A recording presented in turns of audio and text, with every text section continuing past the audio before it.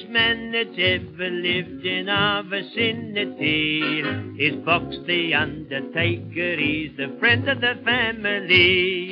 What did he do for Uncle Joe who went off with the cough? Because he only had one leg, took four and ninepence off.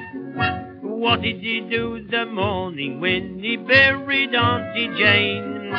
When she woke up on the way, he brought her home again. All the way back he brought her with sympathy and care. She got a return although he only charged a single fare.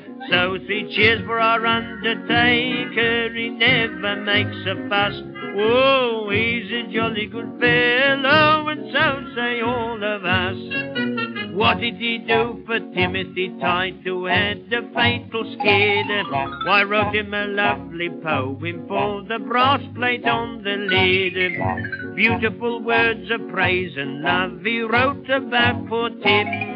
The morning his widow read them, why she couldn't believe 'twas him. And look at that care he takes before he brings you through the door. He sees you've got a clean shirt on if you've never had one before. So good luck to our undertaker, he never makes a fuss.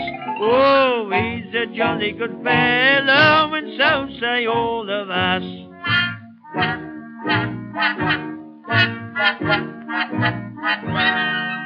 Look at the lovely horses he brings round with plumes complete.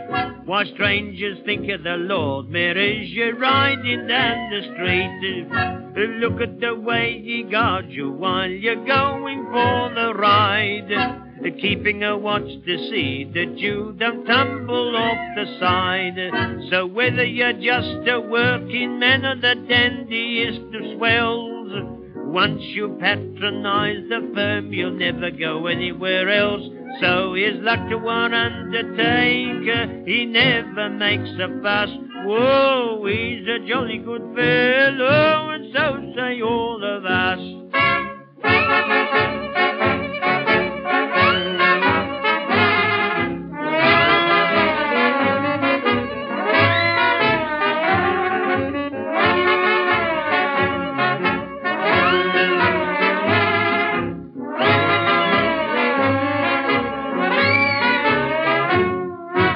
What did he do for Jones' widow? Poor Jones left behind. They walked arm in arm in the cemetery. He knew Jones wouldn't mind. So good health to our undertaker. He never makes a fuss. And he'll look after your wife for you. And so say all of us. And so say all of us. Us, us. And so say all of us.